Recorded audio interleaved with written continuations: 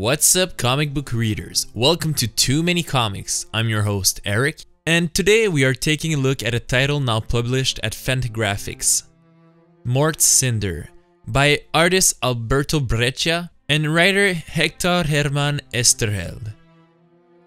For the first time officially translated in English and presented in a single book, Mort Cinder is an episodic comic divided into nine short stories each of them being a take on its own genre, like suspense, horror, and even science fiction.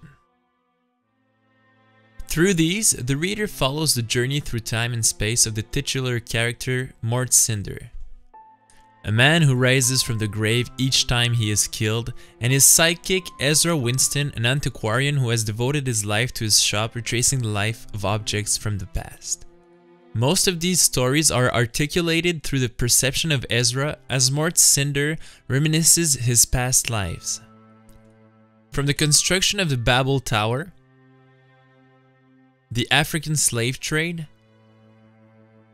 to the First World War, Oesterheld explores mankind's undersides with a great sensitivity. Where this book really shines though is in the harmony between the narrative and the artwork. Breccia was a master of the chiaroscuro technique, which uses a contrast between light and dark to portray the action. Playing with themes like past and present, and life and death, the medium allows darkness to complement the white both morally and artistically. With a very balanced touch of abstract, the art achieves to tell you what the script doesn't. It's also worth noting that with every episode being its own genre, Breccia uses small changes in his style, making them feel distinct and original.